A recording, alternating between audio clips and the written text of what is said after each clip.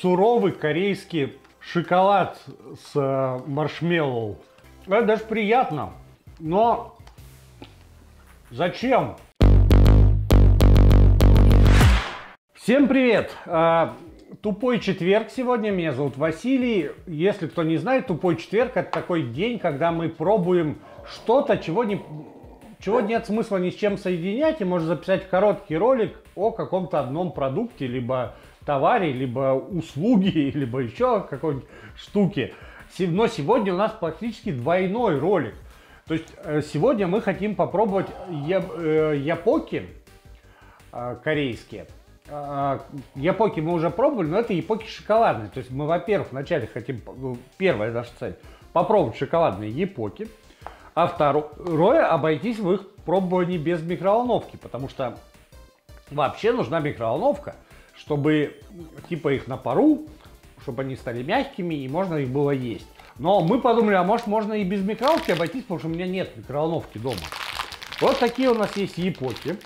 Стандартные совершенно вот для этого жанра японские клетки. В невареном виде они похожи на куски клеевого какого-то карандаша. Ластики, может быть, ну, очень твердые э, и на вид совершенно несъедобные. И, как всегда, опять-таки, у Япок есть э, такой вот пакетик. Тут соус, и этот соус шоколадный, то есть они сладкие. Сейчас пойдем, э, мне сказали, что можно налить немного воды в сковородку их бросить, и они там вроде как почти как на пару дойдут. Сейчас попробуем так и сделать.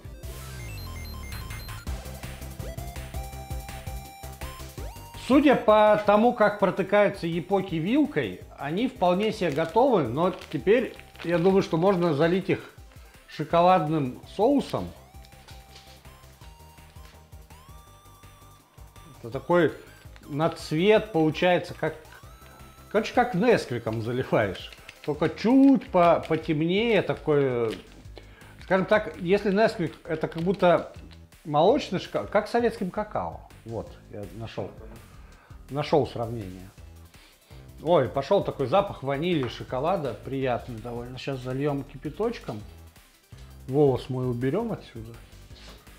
И, и попробуем.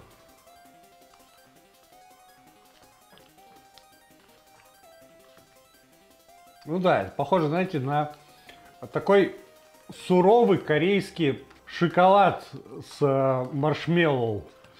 Только вместо маршмеллоу рисовые клетки.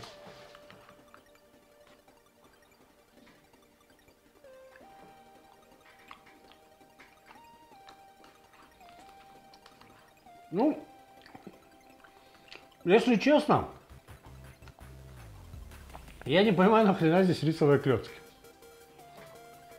Какао прикольное. Клетки сами по себе тоже ничего.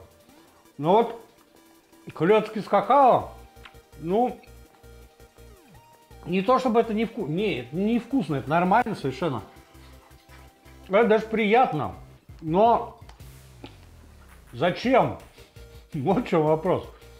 Зачем есть клетки с какао, когда можно выпить отдельно какао и купить клетки, например, божественные с сырным соусом. У них очень вкусные были.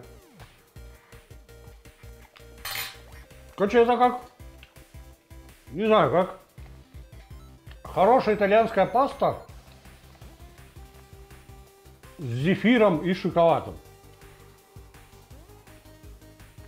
Не противно и даже не неприятно, но не, по, не, за, не понятно зачем.